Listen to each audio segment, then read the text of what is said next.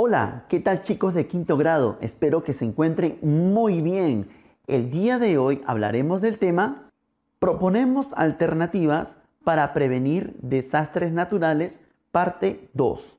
Como sabes, conoceremos y aportaremos qué debemos hacer o qué debemos hacer para prevenir estos accidentes que a muchas personas les ha sucedido. Tener una mochila de emergencia, saber hacia dónde ir, qué es lo que debemos hacer. De eso trata la clase de hoy. Prevenir para no sufrir este desastre natural. Quédate, este se aprende en casa, educación. Dale intro.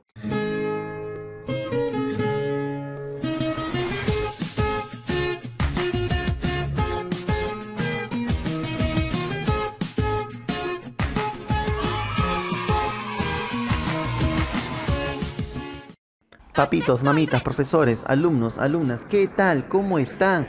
Espero que muy bien. Hoy estamos con el quinto grado, semana 23. Expresamos a través del juego lo investigado sobre las estaciones. Estamos en el día 1 con la actividad Proponemos alternativas para prevenir desastres naturales, parte 2. Esta clase pertenece al área de personal social. Vamos con los recursos.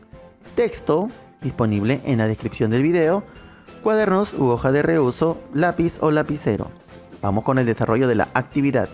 Antes de continuar con el desarrollo de la actividad, no olvides suscribirte, compartir y darle like a este video. Y también comparte el enlace que se encuentra aquí en la parte inferior en tus principales redes sociales, ya sea Facebook, Instagram o WhatsApp. ¿Ok? Ahora sí, vamos con el desarrollo de la actividad. Como sabes, la semana pasada conocimos factores de vulnerabilidad de las personas frente a los huaicos, a las avalanchas y otros fenómenos naturales. Y otros fenómenos naturales. En la actividad de hoy conoceremos algunas noticias y algunas cosas referidas a estos fenómenos naturales que nos aqueja y nos sucede a muchas personas.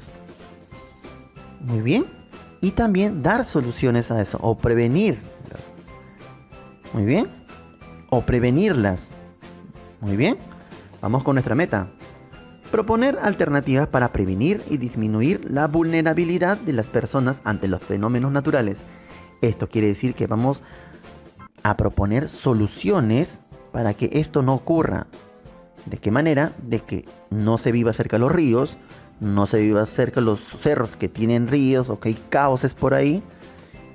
Porque con la lluvia, como vimos la vez pasada, eso cae, ¿no? Y puede sepultar pueblos, personas. ¿Ok? Ahora sí, vamos a empezar. Ahora vamos a leer atentamente el testimonio de Roberto. Muy bien. Estaba junto a mi esposa cuando escuchamos un sonido muy fuerte, como el choque de dos camiones. Mi esposa dijo, ¿no será un huaico? Y por la puerta empezó a entrar agua. Luego se rompió y lo que ingresó fue lodo, piedras y palos en grandes cantidades. Quisimos escapar, pero el agua nos atrapó. Aunque intentamos nadar, no pudimos hacerlo, porque el agua era espesa, llena de lodo y palos, nos arrastraba y nos hundía. No podíamos ver nada. Mi cara y todo mi cuerpo estaba cubierto de lodo.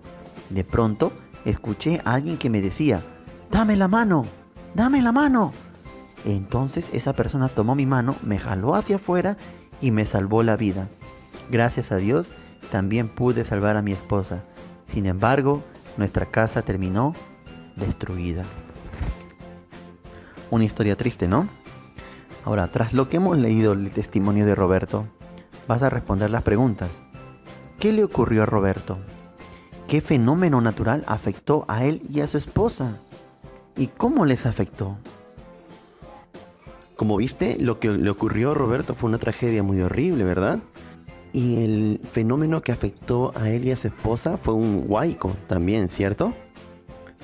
Ahora, para poder prevenir esta clase de fenómenos o accidentes que puedan ocurrir, hay que tener siempre un plan de emergencia. Un plan de emergencia es un conjunto de actividades que los integrantes de una familia deben realizar para estar preparados ante una situación de emergencia o desastre. ¿Ok? Hacer un plan tiene tres partes. El antes, el durante y el después. El antes es que debes construir tus casas en zonas seguras o espacios seguros, en lugares donde no hayan ocurrido eh, inundaciones, terrenos que son inestables, ¿no? Después, tener preparada y lista tu mochila de emergencia. ¿Ok? Y durante, durante es cuando sucede cuando pasó el, el o la inundación, hay que conservar la calma en todo momento. Transmitir la seguridad a los demás para que no pierdan el control. Prestar también atención si hay alguna alarma en la zona. Evacuar rápidamente a zonas seguras. Más importante, seguir las indicaciones de las autoridades. Una vez que haya pasado todo el desastre también, es colaborar con el restablecimiento de los servicios, agua, desagüe o luz, ayudar, evitar caminar por la zona en la que ocurrió el aluvión o el huaico y colaborar con el rescate de las personas.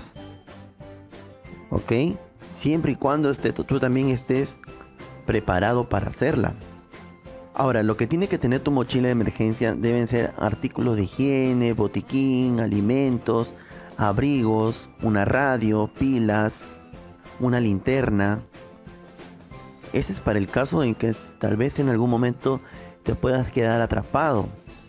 Bien. Y cada integrante de la familia tiene que tener una tarjeta de información familiar. Como esta, mira nombre y apellido de papá, dónde trabaja el papá, dirección, teléfono y lugar de evacuación. Así como de los hijos, que en los hijos es colegio, ¿no? Esto es importante para saber que cada integrante de la familia se conozca su información de su nombre y dónde trabaja o dónde se le puede ubicar en caso quede atrapado en un huaico o en una inundación que sucede en su casa o en su barrio. Bien, ahora vamos con algunas preguntas sobre este tema. Bien. Y siempre reconocer las zonas seguras, las partes altas, donde no va a llegar el río, o sitios alejados, ¿no? Ahora vamos a ir con algunas preguntas de lo que te acabo de comentar y de lo que acabamos de leer. Muy bien. ¿Tu barrio o comunidad está expuesto a algún desastre natural? ¿Cuál? y en qué época del año se presenta con mayor frecuencia. Esto quiere decir si tu barrio se encuentra cerca de un río o cerca de un sitio de peligro. Muy bien.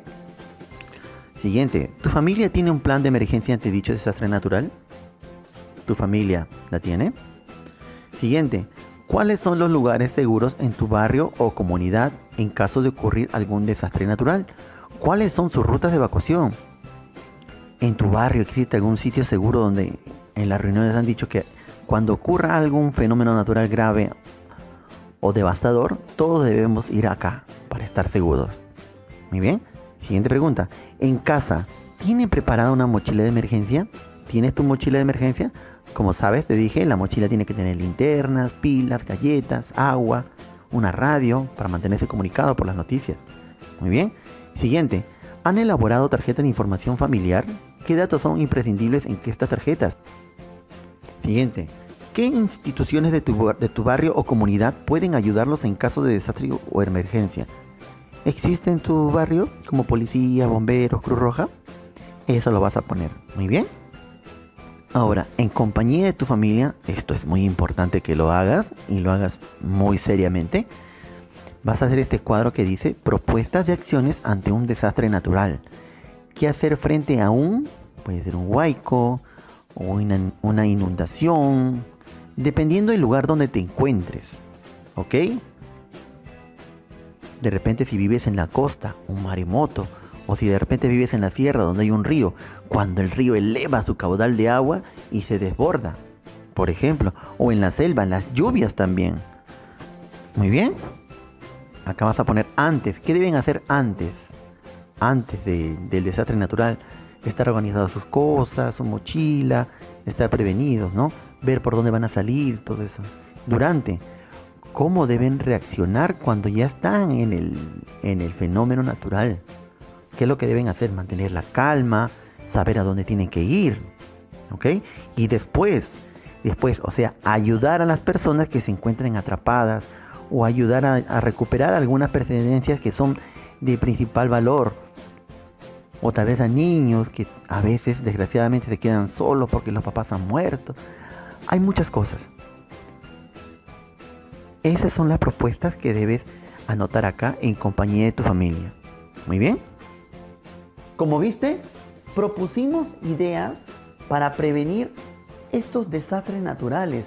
Tener nuestra mochila de emergencia, tener nuestra tarjeta de todos los integrantes de la familia, saber hacia dónde ir, qué hacer y qué, cómo comportarnos en ese momento cuando ya estamos en ese desastre natural como son los huaicos. Muy bien, espero que la clase te haya gustado, coméntales a tu papá y que te aporten también ellos qué pueden ayudarte a hacer para poder hacer tu clase, tus tareas sobre prevención de desastres naturales. Esto ha sido Aprende en Casa de Educación. No olvides suscribirte, compartir y darle like al canal. Si deseas aportar al canal, abajo en la descripción te dejaré un número de una cuenta YAPE si deseas aportar. O también me puedes apoyar dejando correr los comerciales. Eso ha sido todo por hoy. Nos vemos el día de mañana y chao chao.